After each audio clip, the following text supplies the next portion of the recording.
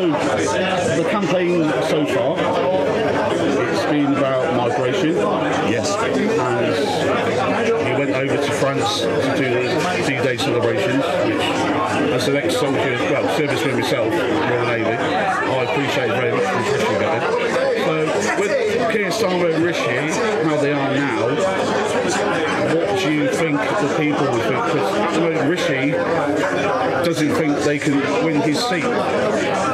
Well, who knows? I mean, look, I think the truth of it is the election's over.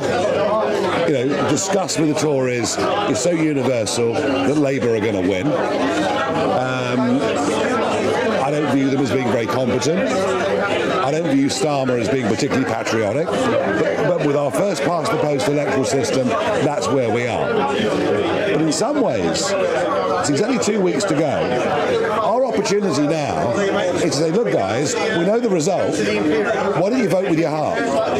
Vote yeah, with your Tory or Labour, vote with your heart. If you agree with me on what I stand for, vote with your heart. And let us be the opposition, not a failed Conservative Party. That's what the election campaign is now for us all about. I think that's what a lot of people are worried about was having the Conservative Party 2.0 with all the Conservatives jumping ship onto the reforms wagon Yep. and turning it into the Conservative Party.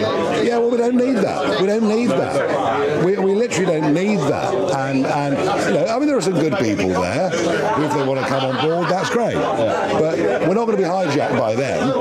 Um, there's no way we're going to allow that. I, I genuinely don't think, despite being around for 190 years, that the modern day Conservative Party is fit for purpose. You know, what, you know, what does it stand for? What does it do? It just lies. They tell us they're for low taxes, low immigration. Well, the 14-year record is the opposite to that. So current polls with you as the leader of the opposition. Which polls you look at. Yeah. BBC, ITV, Sky News, they're all downplaying it. Is that just because it's reform? Because No, because it's me. it's- Because it's me. I'm the bogeyman. That's right. I'm the person the establishment loves to hate. They've been doing it for 20 years. Uh, Um, they can't cope with me.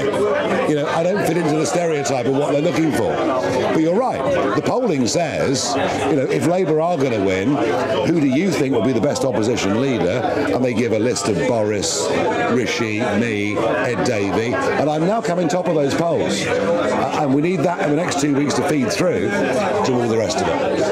But if you do win your seat and you are in Parliament, which Yeah. I really do hope you are, because we need someone with your character in Parliament, you will be forming the opposition and you're going to want allies because obviously Labour are going to have that many seats in the House. They're going to steamroll anything they want to put through. Yeah, well, they will, but you know what I'm good at is mobilising mass movements. I'm good at mobilising millions of people.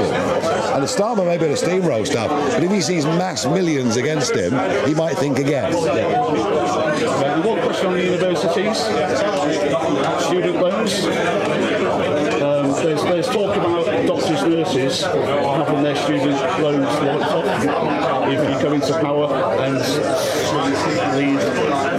Well, I think the extent to which we're relying on foreign doctors and foreign nurses is outrageous. There are so many British people who can't get into medical school because the Tories cap the numbers. I've had a nurse today write to me from Derby to say she's fully qualified, come out of uni with a big student loan debt and being replaced by foreign workers brought in by agencies. I mean, unbelievable. We have doctors, surgeons qualifying and going to Australia, America. That's not right. And also, we're stealing doctors and nurses from countries much poorer than us, where they're needed even more than they are here. Radical rethink of the whole thing. So yes, I would say on student on student fees, we, we, we, we should exempt them because we need it. Overall, I'm a believer, and I have been for 20 years, that too many people are now going to university who'd be better off learning trades and skills. That's my view. Okay. Last question on immigration. Yeah.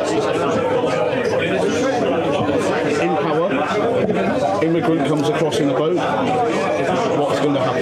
Stay. Not going to stay. Photographed, fingerprinted, sent back Gone. within 24 hours. Gone. Not going to stay. Not going to stay. Yeah, that will stop the boat. Of course it would, immediately, overnight, as it did in Australia 10 years ago. Exactly.